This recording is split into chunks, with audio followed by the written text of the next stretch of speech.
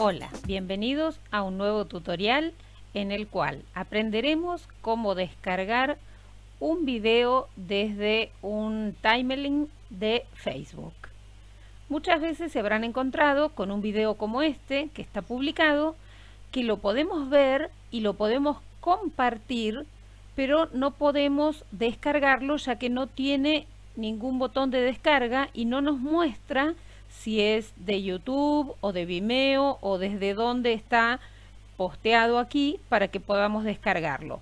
Entonces vamos a ver una manera de hacerlo muy sencilla desde una página online sin instalar ningún tipo de programa.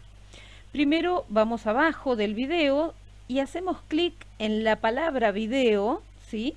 donde dice el nombre de la persona que lo ha publicado y se nos va a abrir otra pantalla donde va a aparecer ese video más grande y allí vamos a copiar la URL completa que comienza con https después dice facebook.com el nombre de la persona que lo subió videos y hay un número bueno me posiciono acá botón derecho seleccionar todo ¿sí? y copiar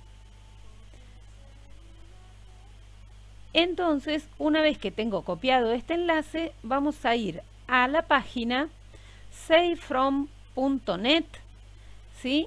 que eh, aquí es donde vamos a pegar ese enlace que copiamos. Simplemente lo único que tenemos que hacer es aquí, en este campo donde aparece una URL escrita, insertar nuestro link así como está todo completo con todos los números y demás. Y hacemos clic en este botón celeste que está a la derecha. No le hagan caso ni a este botón que dice instalar, ni a este, ni a este que dice download. Esta página es un servicio gratuito, por lo tanto se sostiene con publicidad.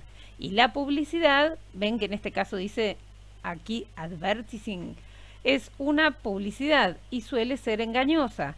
Y estas publicidades son las que después nos van a instalar programas, botoneras y cosas que no queremos en nuestra máquina, ¿sí? Así que entonces yo ahora puse aquí el traductor de Google para verla en español. En español. Una vez que tenemos pegado el enlace del video, hacemos clic aquí y esperamos según el tamaño y el peso que tenga el video, desde unos segundos hasta un minuto a lo sumo puede tardar. También tiene que ver la conexión a internet que tengamos. Y aquí nos da la posibilidad de descargar, en este caso en MP4. A veces pueden aparecer más de una posibilidad de descarga, ¿sí? Eh, nos puede también ofrecer la posibilidad de descargar solo el audio, depende cómo esté hecho y subido este video. Pero ahora que ya lo tenemos aquí, a veces también en, esta, en este campo nos muestra la imagen eh, o miniatura personalizada que tiene ese video. Acá confiamos en que es y hacemos clic en descargar.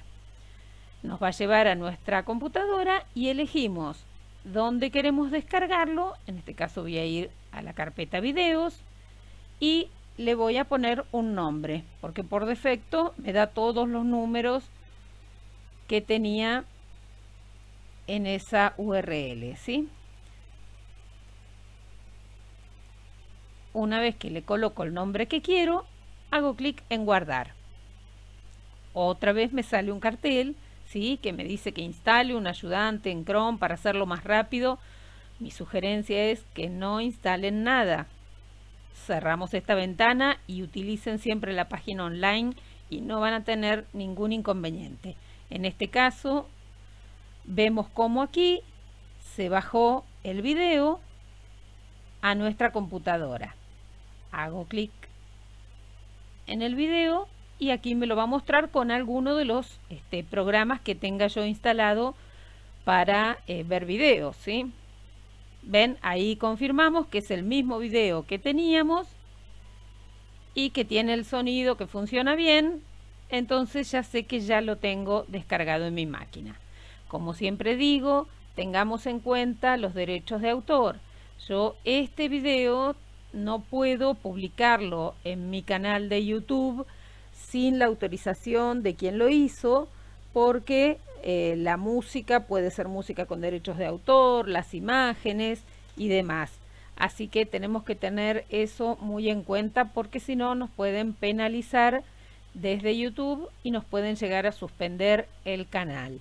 Y desde luego que no vamos a poder monetizar, o sea, cobrar por los clics o ponerles publicidades al video.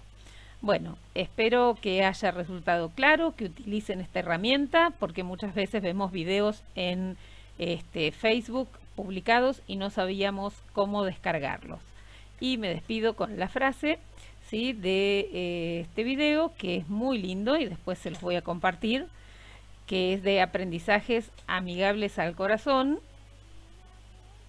que es un método para lograr aprendizajes más efectivos y que contemplen a, los niños en un sentido holístico o integral. ¿sí?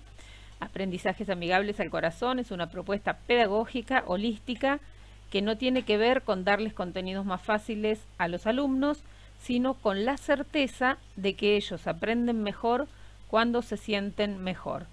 Y es este, de un libro que se llama Aprendizajes amigables al corazón, que trata justamente sobre este desarrollo pedagógico, esta propuesta, con actividades muy concretas para realizar y material teórico, así que se los recomiendo. Saludos, Natalia.